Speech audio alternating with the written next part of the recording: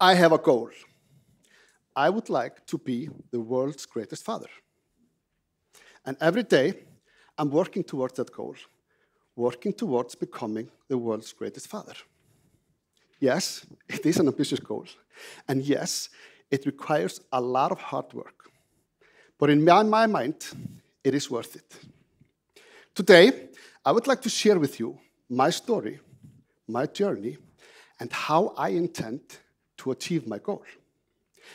And my story starts in 1997. I'm expecting my first child, and I'm so excited. I can't wait to become a father. And I remember I'm at my apartment and I've got a lot of baby clothes and I'm getting ready to be a father. And I remember I'm ironing those clothes and I'm thinking about I'm going to be a father. And I said to myself, I am going to be the world's greatest father. But it's easy to say and harder to practice. Because if you think about it, being the world's greatest father is not a well defined goal. It isn't. I started thinking about what does it mean to be the world's greatest father? Is it waking up in the morning baking pancakes for the kids? Is it going playing with the kids every day? Is it buying everything for them, everything they want? Well, no, I need to define my goal. So I started thinking, what will I be doing? I will be raising a child. What is it that I will be doing? And I found out I am not going to be raising a child. I'm going to be raising an adult. What I mean by that is that everything that I will be doing while my kid is growing up is trying to have an impact on what type of a person my child becomes. And when I say what kind of a person, I'm not talking about jobs or wealth. I'm not thinking about, oh, I want them to be a banker or my child should be a doctor or anything like that. I'm talking about values. I want my children to adopt certain type of values that will define the person they will become. I want one day to be gray and old, and my kids come as adults and visit me. And I'm so proud of the person they have become. Still talking about values. So I needed to define my goals. And what I did was I created a vision, a vision of the person I wanted my child to become. And I did it by looking at myself. And I thought, what is it that I do well? What is it that I'm proud of? What is it that I'm really proud of, my, of myself? And I'm still talking about values. And I took that and I put it in my vision. And I thought, looked at myself and thought, what is, what is it that I'm not doing so well? Which values have, haven't I adopted that I would love to have adopted? And I put it in this vision. And this vision comes a description of the person that I would like my children to become. And this vision becomes my goal. I start to work towards becoming this person. But wait a minute. What happened here? I was talking about my children. All of a sudden, I'm talking about myself. I want to achieve this goal. What's happening? Am I selfish? Maybe, I don't know. But I know one thing. The only person I really can change, I really can control, is myself. That's the only person but I can try to influence my children. So I believe by working towards becoming this person that I have described, I'm sending a strong message to my children. I'm a good role model and sending a strong message. But I figured out I needed something. I need some tool to really send this message to my children. And I started looking and I found out I have this tool. We all have this tool. It's called interpersonal communication. And what it means is it's not only what I say and how I say it to my children, but mainly what I do that will be the strongest message to my children. So I found out okay, what I have to do is I have to start living my life by one very simple rule. Everything I do is a direct message to my children. If I don't want my children to drink, I don't drink. If I don't want my children to smoke, I don't smoke. I can't expect my children to be something that I'm not, or do something that I don't do. Well, or at least be something that I'm trying to be. So, this is what I have to do live by this rule. Everything I do is a direct message to my children. But I need something more because One thing is sending the message instead. I have to be sure that the message will reach to them. So I found out okay, I will have to work on my communication, our communication, every day. And I know that luckily I will get a lot of chances. We all get a lot of opportunities to work on our communication. And I have to be awake and aware and grab those chances every time to be able to send the message and be sure that the message gets through. I'm going to explain this a little bit better. I'm the kind of person that likes to visualize things. And this is how I see my communication with my child. I'm here, my child is here, and between us is this huge tube. I call it the communication tube. And my job is to work on the communication tube to see that it's wide open. Because through this tube, I will send my message to the child, to my children. But not only that, it works both ways. This is also where they will send messages to me. And this is also where they can come and seek guidance and seek help. So this is very important to me. I will have to work on my communication tube. Complicated? Maybe a little.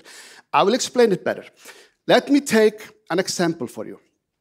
When my daughter was four years old, she made a drawing and came to me with this drawing, says, Daddy, look, look what I drew. A great opportunity for me to work on my communication tube, but also really easy to mess this opportunity up. So, what could I do? I could take the picture and say, Yes, but you could draw this a little better. You could put a little bit of color here. What am I doing? focus on the picture. I'm judging the picture, no focus on the child. This is not what I wanted to do. I don't want to do that. I want to send a different message. I could also just take the picture. What a lovely picture this is. I'm going to put it on my fridge. Oh, I love this picture. Again, focus on the picture. What about my child? So, what I did, I went down on my knees, which is probably why I have six surgeries on this knee. But I went down on my knees to be an eye level with my child. And I started to ask her about the picture, how she felt while she was drawing, drawing the picture. Because I wanted to make sure focus is on you, not the picture. The picture is just a side project. How do you feel? And I'm sending a strong message. I'm sending the message I am interested in you. You can come and talk to me. I'm interested in you. I'm working on my tunnel. I'm going to take another example that's happened more recently. My son woke up one morning and said to me, Dad, I cannot go to school. I have so much pain in my stomach. Well, I'm an expert in my child. and I was pretty sure there was nothing wrong with his stomach. But I have a standard answer whenever one of my child comes and says they can't go to school because they feel bad. And that answer goes like this No problem you will stay at home. Yeah, I know that you don't all agree with this. Let me explain what I'm thinking and why I do this. I'm sure that the reason for my child to come and say this to me is there is a reason behind it. He doesn't want to go to school for a reason. And me as a father, that is my job to find that reason so that I can respond. And I have to know the reason. That is why when I say no problem, you will stay at home. I'm taking the pressure off my child. There's no pressure.